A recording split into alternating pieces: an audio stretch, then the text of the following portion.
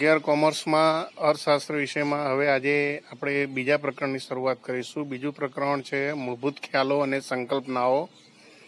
આપણે પહેલું પ્રકરણ પૂરું કર્યું. હવે આ બીજા પ્રકરણની અંદર આપણે જુદા જુદા મુદ્દાઓની ચર્ચા કરીશું.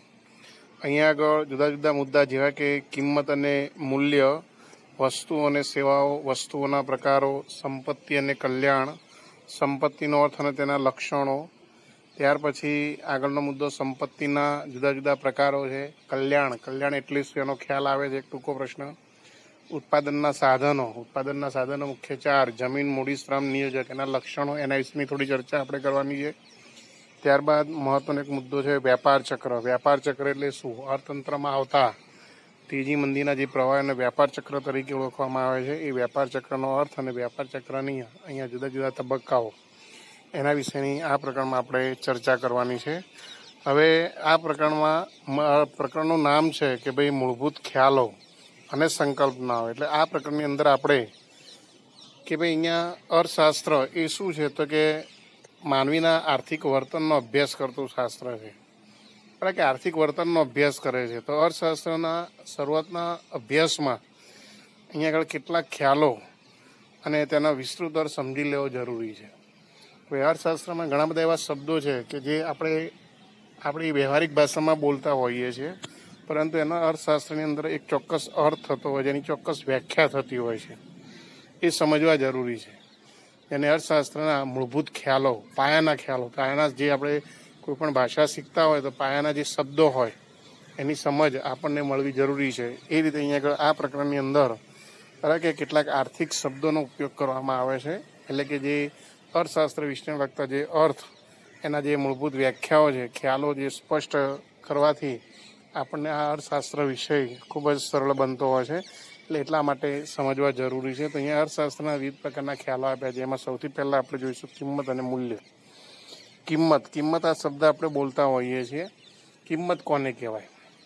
બરાબર, કિંમતની પહેલાં મહત્ત્વનો શબ્દ છે મૂલ્ય. મૂલ્ય જેને અંગ્રેજીમાં આપણે વેલ્યુ કહીએ છીએ અને કિંમત એને પ્રાઇસ કહીએ છીએ. જો બંને શબ્દ અલગ છે. બરાબર? પરંતુ અહીંયા આગળ એને વ્યાખ્યાયિત અલગ અલગ રીતે કરવામાં આવતા હોય છે. જેમ કે રોજિંદા જીવન વ્યવહારમાં અહીંયા કિંમત અને મૂલ્યને લગભગ સમાનાર્થી શબ્દ તરીકે આપણે ઓળખીએ છીએ. આ વસ્તુ આપણે બોલતા હોઈએ છીએ વ્યવહારમાં કે આ વસ્તુ મૂલ્યવાન છે, આ વસ્તુ કિંમતી છે, આનું મૂલ્ય ખૂબ જ છે, આની કિંમત વધારે છે. આ વાક્યોમાં કિંમત અને મૂલ્યનો આપણે લગભગ સામાનાર્થી અર્થ કરતા હોઈએ છીએ. પરંતુ અર્થશાસ્ત્રમાં અહીં આગળ મૂલ્ય અને કિંમત આ બંનેનો અર્થ કેવો છે? અલગ અલગ છે. તો સૌથી પહેલાં આપણે મૂલ્ય મૂલ્ય એટલે કે વેલ્યુ કોને કહેવાય એના વિશે આપણે ચર્ચા કરીએ. તો મૂલ્યની અહીંયા તમને સમજૂતી આપી છે કે મૂલ્યનો અર્થ સમજવા માટે એના વ્યવહારમાં બે રીતે મૂલ્યને જોવામાં આવે છે. કેવી રીતે? તો કે મૂલ્યના બે અર્થ થતા હોય છે. ઉપયોગિતા મૂલ્ય અને બીજું વિનિમય મૂલ્ય. તો પ્રશ્ન તરીકે આ યાદ રાખવાનો કે વ્યવહારમાં મૂલ્યને કેટલી રીતે જોવામાં આવે છે તો કે બે રીતે. કઈ બે રીતે જોવામાં આવે છે? તો કે ઉપયોગિતા મૂલ્ય અને બીજું બરાબર વિનિમય મૂલ્ય. તો સાહેબ, અહીંયા પ્રશ્ન ઊભો થાય કે ઉપયોગિતા મૂલ્ય એટલે શું? તો આપણે ઉપયોગિતા મૂલ્યની ચર્ચા કરીએ. ઉપયોગિતા મૂલ્ય કોને કહેવામાં આવે? તો કે વસ્તુ માનવ જીવન માટે કેટલી ઉપયોગી છે તે દર્શાવતી બાબતને તે વસ્તુનું ઉપયોગિતા મૂલ્ય તરીકે ઓળખવામાં આવે છે. આ એની વ્યાખ્યા છે. ફરી એકવાર યાદ રાખજો કે વસ્તુ માનવ જીવન માટે કેટલી ઉપયોગી છે તે દર્શાવતી બાબતને તે વસ્તુનું ઉપયોગિતા મૂલ્ય કહેવામાં આવે છે. દાખલા તરીકે ખોરાક, પાણી, સૂર્યપ્રકાશ, હવા ખૂબ જ ઉપયોગિતા મૂલ્ય ધરાવે છે. હવે જો ઉપયોગિતા મૂલ્ય એટલે આપણા જીવન જીવવા માટે આપણને હવા ઉપયોગી છે, પાણી જરૂરી છે, ઉપયોગી છે. બધા ખોરાક ખોરાક વગર આપણે, આપણું જીવન શક્ય નથી. તો આ બધા આપણા, આ બધી જે બાબતો છે એ આપણા માટે ખૂબ જ મૂલ્યવાન છે, ઉપયોગી છે. અને એટલા માટે એ ઉપયોગિતા મૂલ્ય દર્શાવે છે, એમ કહેવાય છે. એટલે કે હવાનું ઉપયોગિતા મૂલ્ય છે, પાણીનું ઉપયોગિતા મૂલ્ય છે, ખોરાકનું ઉપયોગિતા મૂલ્ય છે. તો આમ વસ્તુ માનવ જીવન માટે કેટલી ઉપયોગી છે તે દર્શાવતી બાબતને તેનું ઉપયોગીતા મૂલ્ય કહેવામાં આવે છે.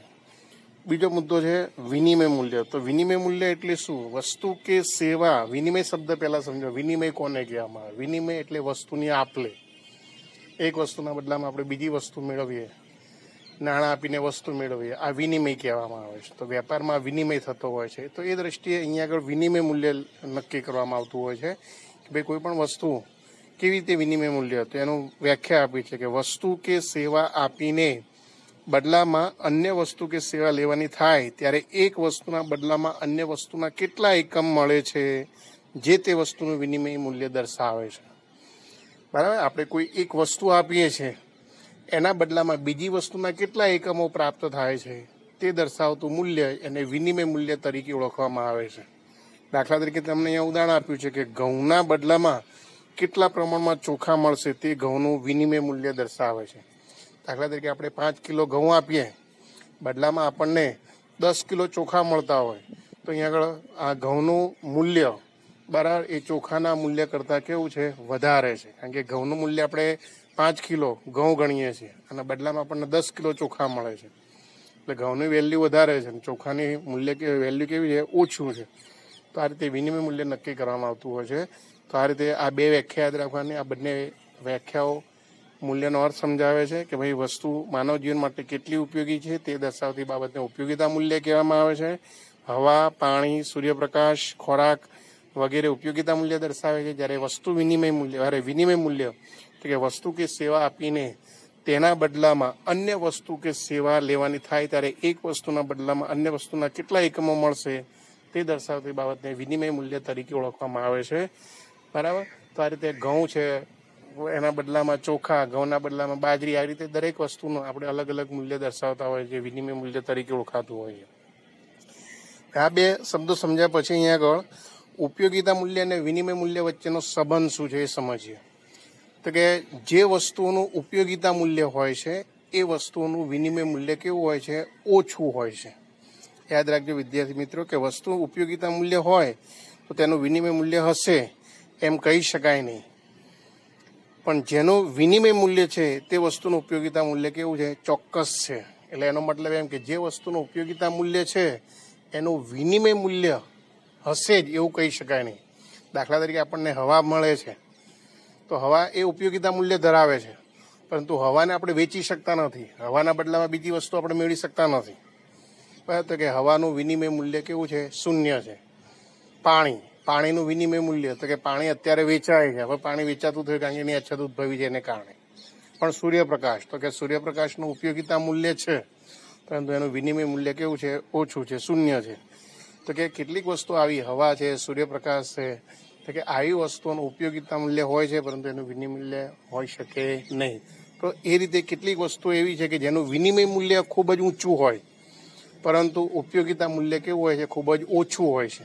ફરી એકવાર યાદ રાખજો. ભાઈ, કેટલીક વસ્તુ એવી હોય છે કે જેનું વિનિમય મૂલ્ય ખૂબ જ ઘણું વધારે હોય છે, પણ ઉપયોગિતા મૂલ્ય કેવું હોય છે, ઓછું હોય છે.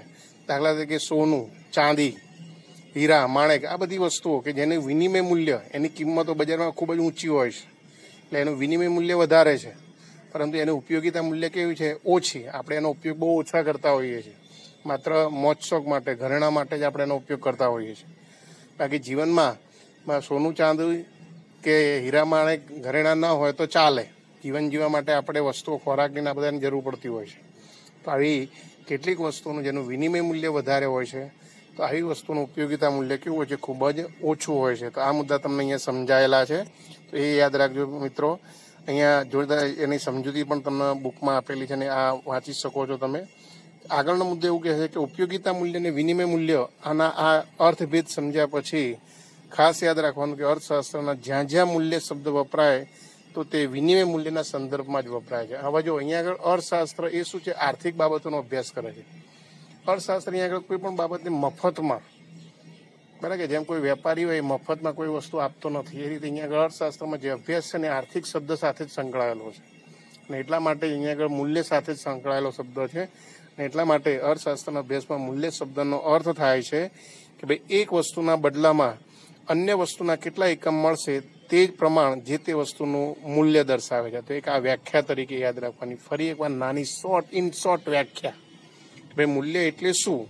તો કે એક વસ્તુના બદલામાં અન્ય વસ્તુના કેટલા એકમ મળશે તે પ્રમાણ જે તે વસ્તુનું મૂલ્ય દર્શાવે છે. બરાબર? ત્યારે બદલામાં કિંમત. કિંમત કોને કહેવાય? તો જો કિંમતની આ વ્યાખ્યા આપી છે કે વસ્તુના બદલામાં નાણાંના એકમ ચૂકવવાના હોય ત્યારે વસ્તુના બદલામાં ચૂકવાતા નાણાકીય એકમ તે વસ્તુની કિંમત દર્શાવે છે. યાદ રાખજો મિત્રો, આ કિંમતની વ્યાખ્યા છે. ફરી એકવાર કિંમતની વ્યાખ્યા. કે વસ્તુના બદલામાં નાણાંના એકમ ચૂકવવાના હોય ત્યારે વસ્તુના બદલામાં ચૂકવાતા નાણાકીય એકમ તે વસ્તુની કિંમત દર્શાવે છે. અહીંયા આગળ આપણે વસ્તુ મેળવીએ છીએ, પણ બદલામાં શું ચૂકવીએ છીએ? નાણાં. તો નાણાંના એકમો જે ચૂકવાતા હોય ત્યાં આગળ કિંમત શબ્દ આવે છે. અને વસ્તુના બદલામાં આપણે વસ્તુ કે સેવા ચૂકવતા હોય ત્યારે એને વેલ્યુ શબ્દ, મૂલ્ય શબ્દ આવતો હોય છે. તો આમ ટૂંકમાં કહેવું હોય તો મૂલ્ય એટલે વસ્તુ કે સેવાનું અન્ય વસ્તુના પ્રમાણમાં વિનિમય મૂલ્ય. અને કિંમત એટલે વસ્તુ કે સેવાના બદલામાં ચૂકવાતા નાણાકીય એકમનું પ્રમાણ. તો આ કિંમતની વ્યાખ્યા છે. તમને કોઈ એમ પૂછે કે કિંમત એટલે શું? તો આ વ્યાખ્યા યાદ રાખવાની. કે ભાઈ વસ્તુ કે સેવાના બદલામાં ચૂકવાતા નાણાકીય એકમનું પ્રમાણ એટલે કિંમત. તો અહીંયા આગળ આખો આપણો આ પ્રશ્ન પૂરો કરીએ છીએ આપણે, મિત્રો, કે ભાઈ મૂલ્ય એટલે શું? એનો અર્થ સમજાવો તો કે મૂલ્યના બે અર્થ થાય છે, ઉપયોગિતા મૂલ્ય અને વિનિમય મૂલ્ય. બંનેની વ્યાખ્યા સમજાવવાની ઉદાહરણ સાથે ઉપયોગિતા મૂલ્ય અને વિનિમય મૂલ્ય વચ્ચેનો સંબંધ શું છે એ સમજાવવાનો. અને ત્યારબાદ કિંમત એટલે શું? કિંમતની વ્યાખ્યા તમને આપી છે, એ યાદ રાખશો. હવે આગળનો મુદ્દો જેના પછી કે વસ્તુઓ અને સેવાઓ. વસ્તુ અને સેવાઓ કોને કહેવાય? એનો અર્થ અહીંયા સમજાવ્યો છે. તો સામાન્ય રીતે આપણે વસ્તુ બોલીએ છીએ. સેવાઓ આ શબ્દ પણ આપણે બોલીએ છીએ. પણ અર્થશાસ્ત્રની પરિભાષામાં વસ્તુ કોને કહેવાય? તો માણસ પોતાની જે વિવિધ જરૂરિયાતો, વિવિધ રીતે સંતોષવાનો પ્રયત્ન કરે છે જે ભૌતિક બાબતો દ્વારા જરૂરિયાત સંતોષાય છે, તે વસ્તુઓ કહેવામાં આવે છે. અહીંયા શબ્દ સમજો. શું શબ્દ વાપર્યો છે કે ભૌતિક? ભૌતિક બાબતો દ્વારા આપણી જે જરૂરિયાતો સંતોષાય છે, એને વસ્તુ કહેવામાં આવે. ફરી એકવાર, માણસ પોતાની જરૂરિયાતો જે ભૌતિક બાબતો દ્વારા સંતોષે છે, એને વસ્તુઓ તરીકે ઓળખવામાં આવે છે. બરાબર કે દાખલા તરીકે ભૌતિક બાબતો એટલે કે જેમ કે ખોરાક. બરાબર કે બીજી આપણે રોજબરોજની દાખલા તરીકે કપડાં તે બધી જે વસ્તુઓ છે, એ વસ્તુઓ તરીકે ઓળખીએ કારણ કે ભૌતિક એને આપણે જોઈ શકીએ છીએ. બરાબર કે એને આપણે જોઈ શકીએ છીએ, સ્પર્શી શકીએ છીએ, એનો અનુભવ કરી શકીએ છીએ. એટલે એ વસ્તુઓ કહેવામાં આવે છે. તો ફરી એકવાર યાદ રાખજો કે માણસ પોતાની વિવિધ જરૂરિયાતો ભૌતિક રીતે, ભૌતિક બાબતો દ્વારા સંતોષે છે, એને આપણે સેવ, વસ્તુઓ તરીકે ઓળખવામાં આવે છે. જ્યારે સેવાઓ કોને કહેવાય? તો કે અહીંયા આગળ અભૌતિક બાબતો. અભૌતિક બાબતો કે જે સેવાઓ તરીકે ઓળખાય છે. માણસ પોતાની જરૂરિયાતો અભૌતિક બાબતો દ્વારા પ્રાપ્ત કરે છે અને સેવાઓ તરીકે ઓળખવામાં આવે છે. જેમ કે આપણને ભૂખ લાગી હોય તો ભૂખને સંતોષવા માટે ખોરાક એ વસ્તુ છે અને જિજ્ઞાસા સંતોષવા માટે શિક્ષણ એ સેવા છે. આપણને કોઈ પણ વસ્તુ જાણવાની ઈચ્છા થતી હોય છે. બરાબર, એ જાણવાની ઈચ્છા થાય અને પછી આપણને વસ્તુ આપણને જાણી લઈએ છીએ, ત્યારે આપણને મનને સંતોષ થતો હોય છે. એક પ્રકારની આપણને સેવા મળી છે. ભૂખ લાગે છે શરીરમાં, આપણને પેટમાં ભૂખ લાગે છે. બરાબર આપણી સામે ચલે કે ભાઈ, બહાર રસ્તામાં જતા હોઈએ ને ચલે કે ભાઈ દાબેલીની લારી જોઈ. અથવા તો કે ચલો કે ભાઈ કોઈ વડાપાઉં કે એ જોયું અને આપણને ખાવાની ઈચ્છા થઈ, ખાઈ લીધું, તો તરત જ આપણને પેટમાં સંતોષ થાય છે. તે શું છે? તો કે આપણે ખાવાને કારણે આપણને પેટમાં જે રાહત પ્રાપ્ત થઈ, ભૂખને સંતોષ પ્રાપ્ત થયો, એ સેવા કહેવાય છે. તો આ રીતે વ્યક્તિની જે જરૂરિયાતો ભૌતિક અને શારીરિક હોય છે, બરાબર? જે વસ્તુ દ્વારા સંતોષી શકાતી હોય છે અને ઘણી અભૌતિક અને માનસિક હોય છે. જે સેવાઓ છે ને એ અભૌતિક છે, પરંતુ માનસિક રાહત મળતી હોય છે આપણને. દાખલા તરીકે આપણને દાખલો આવડતો ન હોય. જ્યાં સુધી દાખલાનો જવાબ ના આવતો હોય, ત્યાં સુધી આપણે વારંવાર મથ્યા કરતા હોઈએ છીએ. પરંતુ આપણે એ સોલ્યુશન લાવવા માટે સાહેબને મોબાઈલ ફોન કરીએ કે સાહેબ, આનો જવાબ આવતો નથી, આનું કારણ શું? સાહેબ, તરત જ આપણને એક હિન્ટ બતાવે કે ભાઈ આ સૂત્રનો ઉપયોગ કર, એટલે આનો જવાબ આવી જશે. તરત જ આપણને જવાબ આવી જતો હોય છે, તો એ સંતોષ પ્રાપ્ત થાય છે. જો માનસિક રાહત મળે આ આવી ગયો જવાબ. તો આ શું કહેવાય છે? સેવા. બરાબર તો આ રીતે જરૂરિયાતો સંતોષનો પણ ભૌતિક અને શારીરિક હોય છે, અભૌતિક અને માનસિક હોય છે. ખાવું, પીવું, મુસાફરી કરવી, રમવું, આ ભૌતિક, શારીરિક જરૂરિયાતો છે. યાદ રાખજો. ખાવું, પીવું, મુસાફરી કરવી, રમવું, આ ભૌતિક શારીરિક જરૂરિયાતો છે, જેને સંતોષનારી બાબતો પણ ભૌતિક એટલે માપી શકાય તેવી હોય છે. જે વસ્તુઓ છે, દાખલા તરીકે ખોરાક આપણે ખાઈએ છીએ, તમે એમ કીધું કે તમે કેટલું જમ્યા? તો કે મેં ચાર રોટલી ખાધી, બે ચમચા ભાત ખાધો. તો એ તમારે શું છે કે ભાઈ, તમે ભૌતિક જરૂરિયાત આ સંતોષી શકાય છે. એને માપી શકાય છે આ રીતે, ભૌતિક વસ્તુને આ રીતે માપી શકાય છે. માનસિક જરૂરિયાતો સંતોષનારી બાબતો સેવાઓ છે. બરાબર કે મનને કેટલી રાહત થઈ, કેટલી શાંતિ થઈ એ તમે માનસિક સેવાઓ કે આપણને જે સેવાઓ પ્રાપ્ત થતી હોય છે, એનાથી આપણે માપી શકતા હોઈએ છીએ. તો આ રીતે વસ્તુ અને સેવાઓ આ બંનેનો એક અર્થ અલગ અલગ યાદ રાખવાનો છે. તમારી પરીક્ષામાં તમને એક ગુણમાં પ્રશ્ન પૂછાતો હોય કે વસ્તુ એટલે શું, સેવાઓ એટલે શું? કે ભૌતિક બાબતો, જે માનવી જરૂરિયાત સંતોષે છે, એ વસ્તુઓ છે. અને અભૌતિક બાબતો કે જે એને માપી શકાતી નથી, અનુભવી શકાય છે. એને સેવાઓ તરીકે ઓળખવામાં આવે છે, અભૌતિક બાબતોને. અને હવે આગળનો આપણો જે પ્રશ્ન આવશે, વસ્તુઓના પ્રકારો. વસ્તુઓ કઈ કઈ, એના પ્રકારો કયા કયા છે? અહીંયા આગળ એના જુદા જુદા પ્રકારો છે, એના વિશેની ચર્ચા આપણે હવે નેક્સ્ટ લેક્ચરમાં કરીશું. આ પ્રશ્ન જે આપણે ચાલ્યો આજે કયો? તો કે મૂલ્ય અને કિંમત, એનો અર્થ બરાબર વસ્તુ અને સેવાઓ, એનો અર્થ એ બે પ્રશ્નોનો જવાબ લખી અને મોઢે કરી જવા મિત્રો.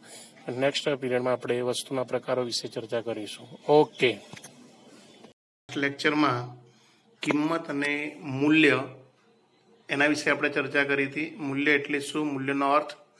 મૂલ્યના બે પ્રકાર, ઉપયોગિતા મૂલ્ય, વિનિમય મૂલ્ય. ઉપયોગિતા મૂલ્ય કોને કહેવાય વિનિમય મૂલ્ય કોને કહેવાય એના વિશે ચર્ચા કરી હતી. ઉપયોગિતા મૂલ્ય અને વિનિમય મૂલ્ય વચ્ચેનો સંબંધ એની ચર્ચા કરી હતી. અને છેલ્લે આપણે મૂલ્ય અને કિંમત બંનેની વ્યાખ્યા આપી હતી કે ભાઈ કિંમત એટલે વસ્તુ કે સેવાના બદલામાં ચૂકવાતા નાણાકીય એકમનું પ્રમાણ. ત્યારબાદ આપણે આગળનો મુદ્દો જોયો તો વસ્તુ અને સેવાઓ. વસ્તુઓ કોને કહેવાય અને સેવાઓ કોને કહેવાય? એમાં આપણે વસ્તુની વ્યાખ્યા આપી હતી કે જે ભૌતિક બાબતો દ્વારા માણસની જરૂરિયાતો સંતોષાય તેને વસ્તુઓ કહેવામાં આવે છે. દાખલા તરીકે હવા, ખોરાક, મોબાઈલ, ટીવી, ફ્રીજ વગેરે આને વસ્તુઓ તરીકે ઓળખવામાં આવે છે.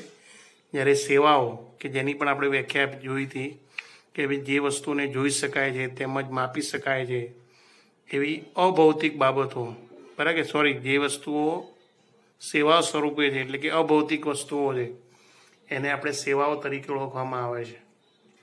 તો આ રીતે વસ્તુ અને સેવાઓનો આપણે અર્થ સમજાતા.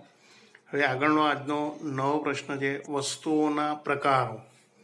એટલે અહીંયા આગળ પરીક્ષામાં પ્રશ્ન પૂછાતો હોય છે કે વસ્તુઓ એટલે શું? વસ્તુઓના પ્રકારો જણાવો અથવા તો કે વસ્તુઓ અને સેવાઓનું વર્ગીકરણ સમજાવો. એ રીતે પ્રશ્ન પૂછાતો હોય છે. તો હવે આપણે આગળનો પ્રશ્ન વસ્તુના પ્રકારો કે વસ્તુના પ્રકારો એટલે કે એનું વર્ગીકરણ પાંચ ભાગમાં વહેંચી શકાતું હોય છે. કયા કયા પાંચ ભાગ? તો કે સૌથી પહેલાં એક ભૌતિક વસ્તુઓ અને અભૌતિક વસ્તુઓ. વસ્તુઓના અહીંયા આગળ યાદ રાખજો. પાંચ પ્રકાર પડે છે. એમાં સૌથી પહેલો પ્રકાર છે ભૌતિક અને અભૌતિક વસ્તુઓ. બીજો પ્રકાર છે સર્વસુલભ વસ્તુઓ અને આર્થિક વસ્તુઓ. ત્રીજો પ્રકાર છે ટકાઉ વસ્તુઓ અને નાસવંત વસ્તુઓ. ત્યાર પછી ચોથો પ્રકાર છે ખાનગી વસ્તુઓ અને જાહેર વસ્તુઓ. અને પાંચમો પ્રકાર છે વપરાશી વસ્તુ અને ઉત્પાદક વસ્તુઓ. હવે આ તમામ પ્રકારની વસ્તુઓના જે આપણે પ્રકારો છે, એની આપણે વારાફરતી એક પછી એક ચર્ચા કરીએ. એમાં સૌથી પહેલાં જે ભૌતિક અને અભૌતિક વસ્તુઓ, કોને કહેવાય? તો આપણે હમણાં જ જે વ્યાખ્યા આપી એ પ્રમાણે ભૌતિક વસ્તુઓ, તો કે જે વસ્તુઓ જોઈ શકાય છે, તેમજ માપી શકાય છે, તેવી વસ્તુઓને ભૌતિક વસ્તુઓ તરીકે ઓળખવામાં આવે છે. જેમ કે ખોરાકની વસ્તુઓ, વપરાશની વસ્તુઓ, જે આપણે રોજબરોજમાં ઉપયોગમાં લેતા હોઈએ છીએ. બરાબર? અહીંયા ઉદાહરણ પણ તમને આપ્યા છે કે દાખલા તરીકે દડો, bat Primus TV fridge mobile, આ બધી વસ્તુઓ કે જેને આપણે માપી પણ શકીએ છીએ, જોઈ પણ શકીએ છીએ. બરાબર? આવી વસ્તુઓને ભૌતિક વસ્તુ તરીકે ઓળખવામાં આવે છે. જ્યારે અભૌતિક વસ્તુઓ કોને કહેવાય? તો કે જે વસ્તુઓ સેવાઓ સ્વરૂપે, એટલે કે અભૌતિક વસ્તુઓ છે. બરાબર? જેને આપણે સેવાઓ તરીકે ઓળખવામાં આવે છે. ટૂંકમાં અભૌતિક વસ્તુ કે જે માનવીની જરૂરિયાતો સંતોષે છે, એને સેવાઓ તરીકે ઓળખવામાં આવે છે, અભૌતિક વસ્તુ તરીકે ઓળખવામાં આવે છે. આ અભૌતિક વસ્તુઓ કે જેમાં સંગીત, શિક્ષણ, ડાક્ટરી, સલાહ, બરાબર, વગેરેનો સમાવેશ થતો હોય છે. હવે દાખલા તરીકે અભૌતિક વસ્તુ એટલે કે ચાલો કે ડૉક્ટરની સેવાઓ હોય, તો આપણે એને અનુભવી શકીએ છીએ. સંગીત, તો કે આપણે એના થાય મનોરંજન માણી શકીએ છીએ, મનને આનંદિત રાખી શકીએ છીએ. બરાબર, શિક્ષક તો કે આપણને ભણાવે છે, ત્યારે એનાથી આપણને શું છે, જ્ઞાન મળતું હોય છે.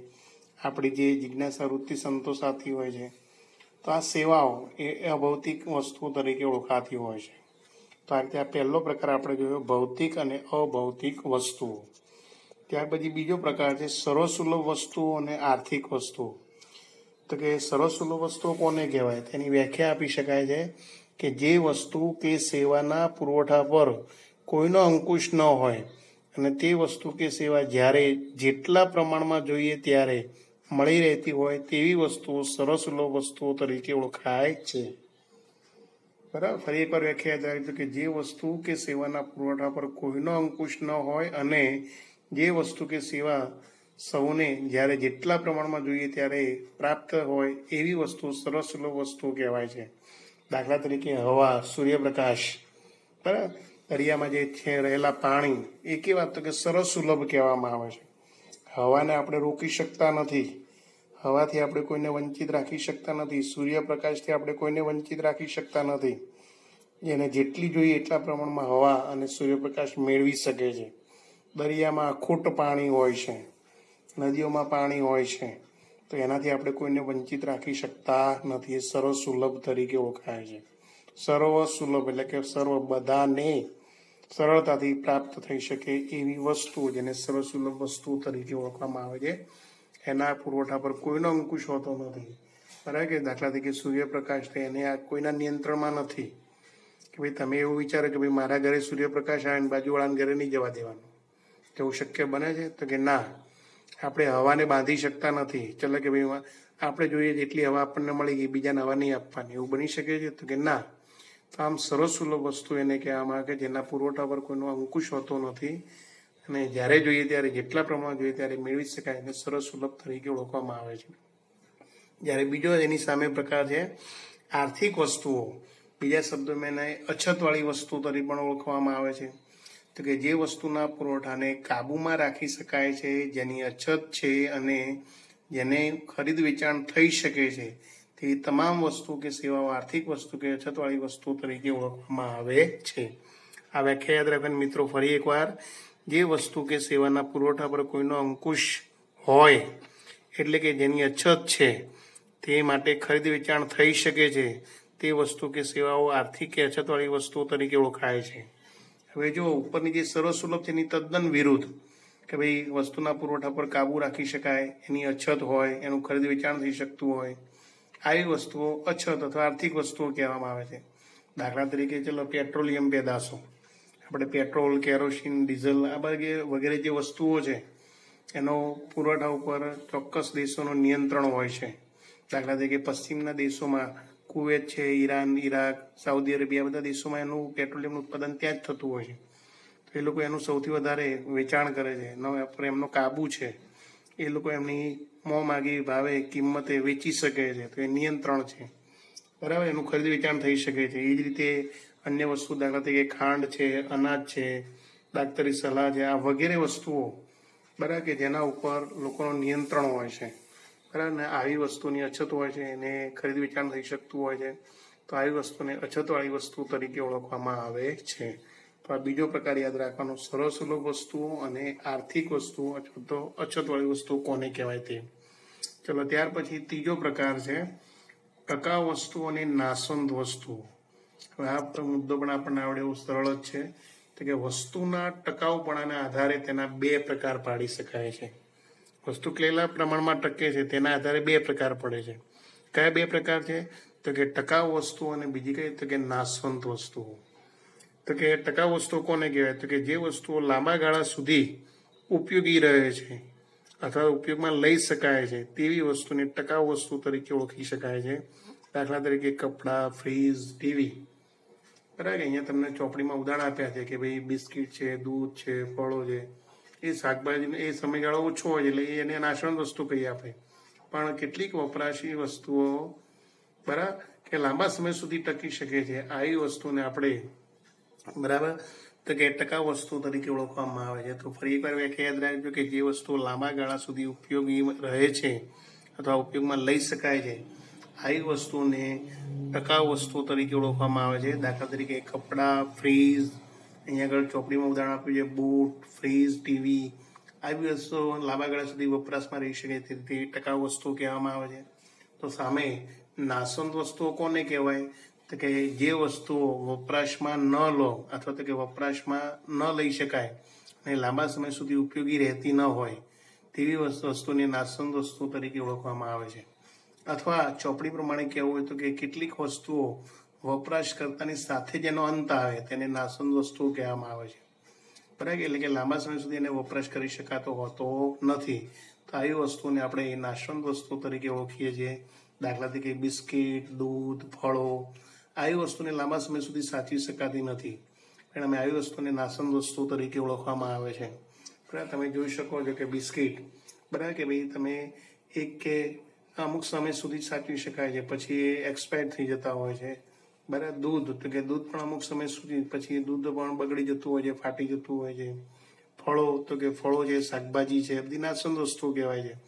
આવી વસ્તુને આપણે લાંબા સમય સુધી, ઘણા બધા દિવસો સુધી સાચવી શકતા નથી. એટલે આવી વસ્તુને નાસંદ વસ્તુ તરીકે ઓળખવામાં આવે છે.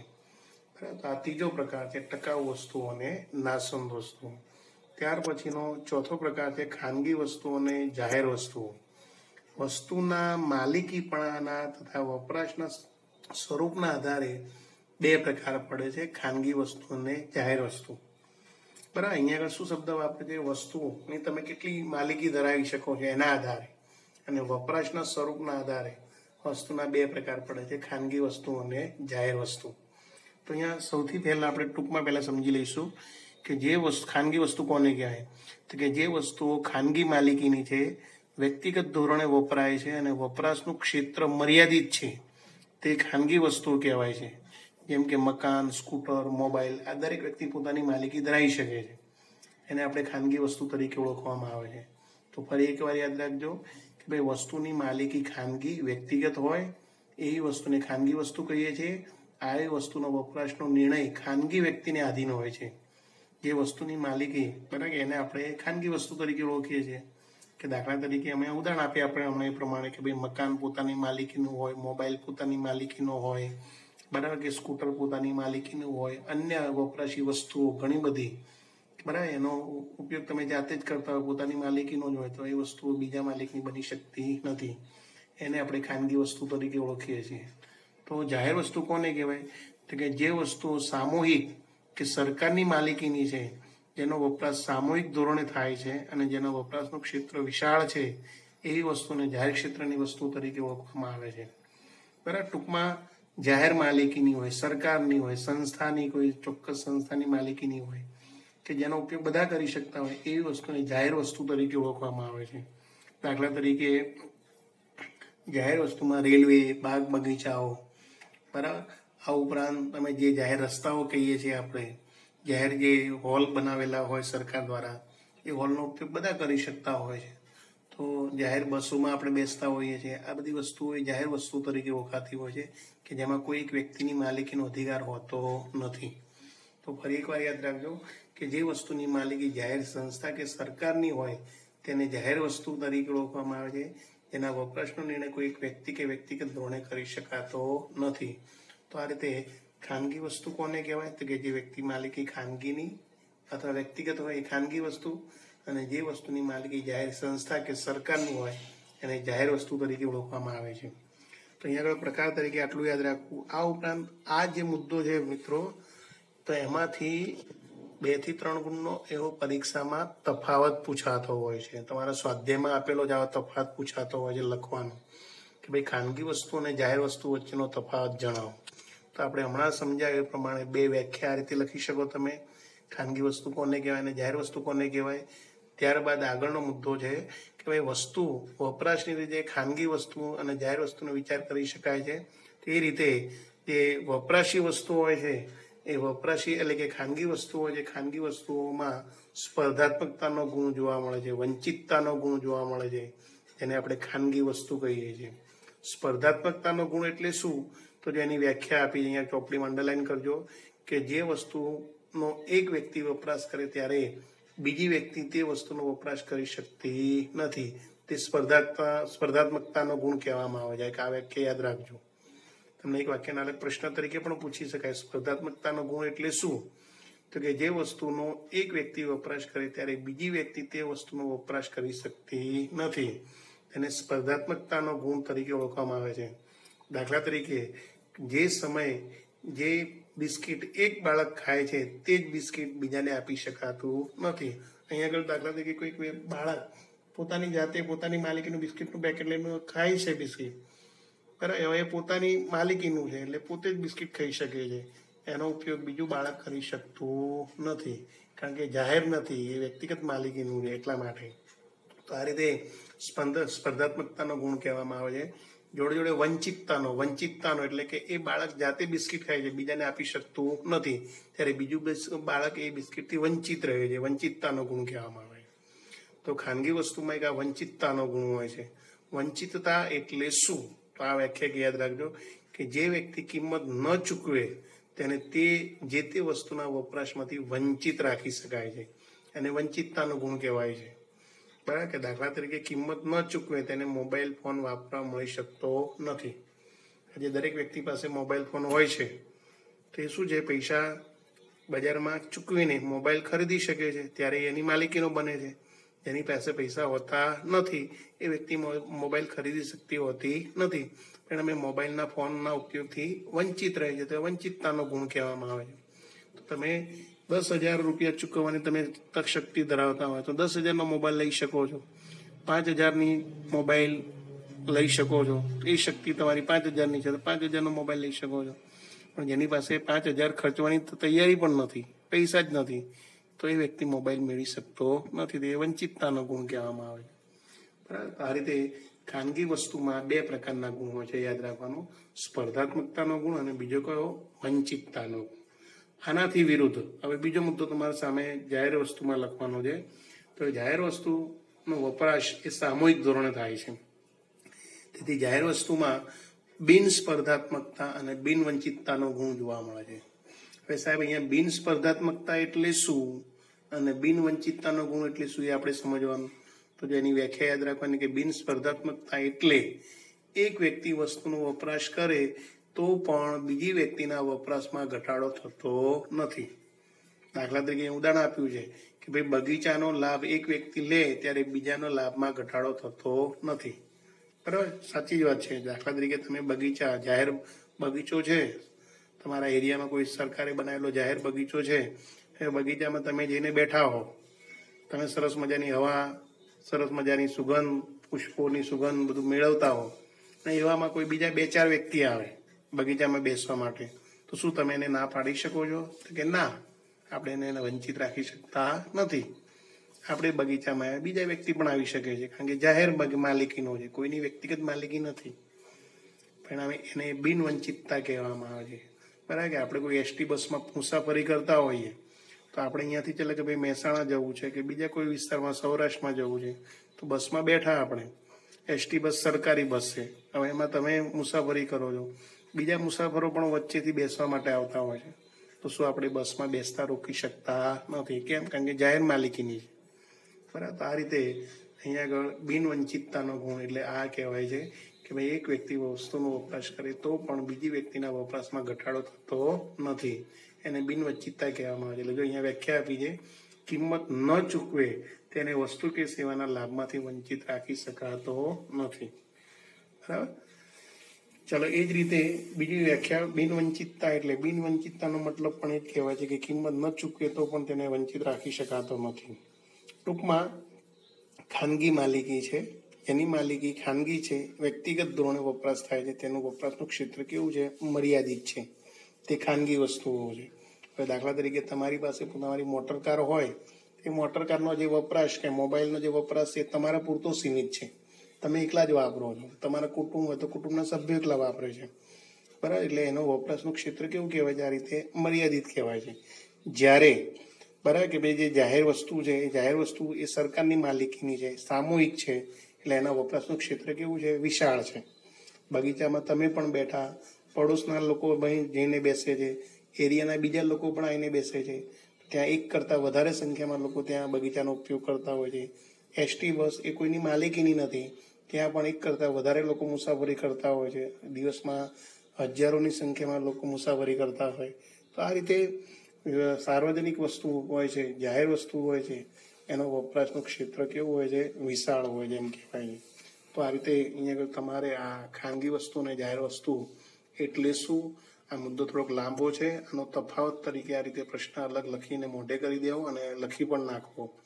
ત્યાર પછીનો પાંચમો પ્રકાર છે વપરાશી વસ્તુઓ અને ઉત્પાદક વસ્તુઓ. વપરાશી વસ્તુઓ કોને કહેવાય અને ઉત્પાદક વસ્તુઓ કોને કહેવાય એના વિશેની વાત કરીએ આપણે. તો કે જે વસ્તુઓ સીધી જ પ્રત્યક્ષ વપરાશ દ્વારા જરૂરિયાત સંતોષે છે, તે વપરાશી વસ્તુ તરીકે ઓળખાય છે. અહીંયા આગળ માનવીની જે જરૂરિયાતો જે તાત્કાલિક સંતોષવામાં મદદરૂપ થતી હોય તેવી વસ્તુને બરાબર વપરાશી વસ્તુ તરીકે ઓળખવામાં આવે છે. દાખલા તરીકે આપણને ભૂખ લાગી હોય તો ભૂખ લાગી હોય તો તરત જ આપણને ખોરાકની જરૂર પડતી હોય છે. તો કે ખોરાક માનવીની જરૂરિયાતની સીધી જ સંતોષે છે. બરાબર? તો એ આપણી કેવી જરૂરિયાત કહેવામાં આવે સીધી સંતોષે છે એટલે એ વપરાશી વસ્તુ તરીકે ઓળખવામાં આવે છે. બરાબર? અહીંયા આગળ પ્રત્યક્ષ જરૂરિયાતો સંતોષે છે. એટલે માટે એ આપણી સીધી જરૂરિયાત સંતોષે છે. જ્યારે ખોરાક તૈયાર કરનાર વાસણ જરૂરિયાત એ પરોક્ષ રીતે સંતોષે છે. બરાબર? તો આમ અહીંયા આગળ કપડાં, દાખલા તરીકે આપણે પહેરવા માટેના કપડાં, ચલો લગ્નમાં જવું છે, કોઈક સારા પ્રસંગે જવું છે, તાત્કાલિક. અરે આપણી પાસે કપડાં નથી, તો દુકાનમાં જઈને આપણે કપડાં ખરીદી લઈ આવ્યા છે. તો તૈયાર કપડાં એ આપણી સીધી જરૂરિયાત સંતોષે છે. પરિણામે વપરાશી વસ્તુ તરીકે ઓળખાય છે. તો આમ માનવીની સીધી જરૂરિયાત સંતોષતા હોય, બરાબર, એવી વપરાશી વસ્તુઓ એ વપરાશી વસ્તુઓ તરીકે ઓળખાતી હોય છે. જ્યારે ઉત્પાદક વસ્તુઓ કોને કહેવાય? તો કે જે વસ્તુઓ ઉત્પાદન પ્રક્રિયામાં ભાગ લઈ તુષ્ટિગુણનું સર્જન કરવામાં મદદરૂપ થાય છે, તે ઉત્પાદક વસ્તુઓ તરીકે ઓળખાય છે. અને તે બીજી વ્યાખ્યા કે યાદ રાખજો, જો છેલ્લેથી બીજી લીટીમાં વ્યાખ્યા આપી છે, તો કે જે ઉત્પાદન પ્રક્રિયામાં ભાગ લઈ તુષ્ટિગુણનું સર્જન કરવામાં મદદરૂપ થાય છે, તે ઉત્પાદક વસ્તુઓ તરીકે ઓળખાય છે. દાખલા તરીકે ટ્રેક્ટર. ઉત્પાદનના મશીનો વગેરે ઉત્પાદક વસ્તુઓ તરીકે ઓળખાય છે. હવે એ કેવી રીતે? તો કે દાખલા તરીકે આપણે તૈયાર ખોરાક મેળવીએ છીએ, પણ ખોરાક બનાવવા માટે આપણને શેની જરૂર પડતી હોય છે? તો વાસણની જરૂર પડતી હોય છે. તો આપણે વાસણનો ઉપયોગ કરીએ છીએ. વાસણ એ પરોક્ષ જરૂરિયાત સંતોષે છે. એટલે ઉત્પાદક વસ્તુ કહેવામાં આવે. આપણે ટ્રેક્ટર કે ખેતરમાં આપણે જે અનાજનું ઉત્પાદન કરતા હોઈએ છીએ આપોઆપ મળી જતું હોતું નથી. એ આપણી મહેનત અને સમય બચે એટલા માટે આપણે ટ્રેક્ટર જેવા સાધનનો ઉપયોગ કરીએ છીએ. તો એ આપણી જરૂરિયાત, એ આપણી જે વસ્તુઓ, એ ઉત્પાદક વસ્તુઓ તરીકે ઓળખાતી હોય છે. બરાબર? એટલે કે આપણને ઉત્પાદન પ્રક્રિયામાં મદદરૂપ થતી હોય છે. તેથી આવી વસ્તુને ઉત્પાદક વસ્તુઓ તરીકે ઓળખવામાં આવે છે. એ બીજું પણ એક તમને ઉદાહરણ આપ્યું છે કે દાખલા તરીકે આપણે તૈયાર કપડાં મેળવીએ છીએ, એ વપરાશી વસ્તુ છે. પણ તૈયાર કપડાં બનાવવા માટે આપણને શેની જરૂર પડતી હોય છે? તો કે કપાસની જરૂર પડતી હોય છે. કપાસના ઉત્પાદનમાં વપરાતા જે સાધનોની જરૂર પડતી હોય છે. અને પછી એ રૂ જે મળતું હોય છે, એ રૂમાંથી આપણે ખરેખર કે વિવિધ યંત્રો દ્વારા આપણે તૈયાર કાપડ બનાવીએ છીએ. તો જે પ્રોસેસ થાય છે, એ બધી ઉત્પાદક વસ્તુ તરીકે ઓળખાતી હોય છે. તો આમ, અહીંયા આગળ વપરાશી વસ્તુ અને ઉત્પાદક વસ્તુઓ કોને કહેવાય એનો ખ્યાલ આપણે સમજ્યા. તો આમ અહીંયા આગળ વસ્તુના જે આપણે પાંચે પાંચ પ્રકાર આપણે અહીંયા પૂરા કરીએ છીએ. તો આખો આ પ્રશ્ન પરીક્ષામાં ત્રણથી પાંચ ગુણમાં પણ ઘણી વખત પૂછી શકાય છે. તો એક આ યાદ રાખવાનું કે ભાઈ કયા કયા વસ્તુના પ્રકાર તો કે ભૌતિક વસ્તુઓ અને અભૌતિક વસ્તુઓ, સર્વસુલભ વસ્તુઓ અને આર્થિક વસ્તુઓ, ટકાઉ વસ્તુઓને નાસંદ વસ્તુઓ, ખાનગી વસ્તુઓને જાહેર વસ્તુઓ. અહીં આગળ તમારે એક મહત્વનો મુદ્દો કે તફાત લખવાનો છે. ખાનગી વસ્તુ અને જાહેર વસ્તુ વચ્ચેનો તફાત. તફાતના ત્રણ મુદ્દા બનશે. એક વ્યાખ્યા, બીજો મુદ્દો સ્પર્ધાત્મકતાનો ગુણ, બિન સ્પર્ધાત્મકતાનો ગુણ, વંચિતતાનો ગુણ, બિન વંચિતતાનો ગુણ. અને ચોથો મુદ્દો બનશે તમારો ખાનગી માલિક એટલે કે વ્યક્તિગત ધોરણ અને વપરાશનું ક્ષેત્ર કેવું છે? મર્યાદિત. જ્યારે જાહેર ક્ષેત્રનું વપરાશનું ક્ષેત્ર કેવું છે? વિશાળ. આ રીતે ચાર મુદ્દાનો તફાત લખવાનો છે અને છેલ્લે વપરાશી વસ્તુઓ અને ઉત્પાદક વસ્તુઓ વચ્ચેનો અર્થ. ઘણી વખત અલગ પ્રશ્ન તરીકે પણ પૂછાતો હોય છે, સાધ્યમાં આવા પ્રશ્નો આપેલા છે. તમે મિત્રો, આખો આ પ્રશ્ન આ રીતે ઉદાહરણ સાથે અલગ વ્યાખ્યા બનાવીને લખી શકો છો અને મોઢે કરી દેવાના પ્રશ્ન પરીક્ષા માટે ખૂબ જ મહત્વનો છે. હવે એના પછીનો એક આગળનો પ્રશ્ન છે સંપત્તિ અને કલ્યાણ. સંપત્તિ કોને કહેવાય? કલ્યાણ કોને કહેવાય? એનો અર્થ, એનો ખ્યાલ. એની ચર્ચા આપણે હવે નેક્સ્ટ લેક્ચરમાં કરીશું. તો આ પ્રશ્નનો જવાબ આખો લખી અને મોઢે કરી જાઓ. Okay thank you